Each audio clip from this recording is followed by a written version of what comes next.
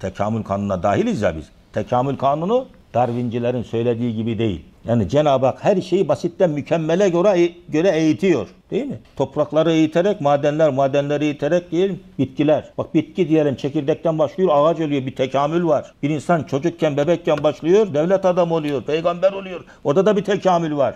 Dinler de öyle. 10 emirden 6666 emire bir tekamül var. Ha işte dün elbise giymesini bilmeyen beşer bugün elektronik neredeyse e, güneşle temizlenen elbiseler çıktı. Uzay gemisine biniyoruz bak. Her şeyde tekamül var. Tekamül Cenab-ı Hakk'ın fıtrata koyduğu büyüme gelişme kanunudur. Bir şeyin tabiatında fıtratında tekamül varsa o büyür ve gelişir. Büyüme gelişme neşünema kanununa tabi olan ömrü fıtrisi vardır. Ömür fıtrileri olanın eceli fıtrileri vardır. Bunlar ölümün pençesinden kendini kurtaramaz. Tekamül mahlukat içindir. Mükemmele doğru gitme değişkenliği gösterir. Değişkenlik neyi gösterir? Sonu gösterir. Son neyi gösterir? Başı gösterir. Haşa bu kanun Cenab-ı Hak için muhaldir, geçersizdir.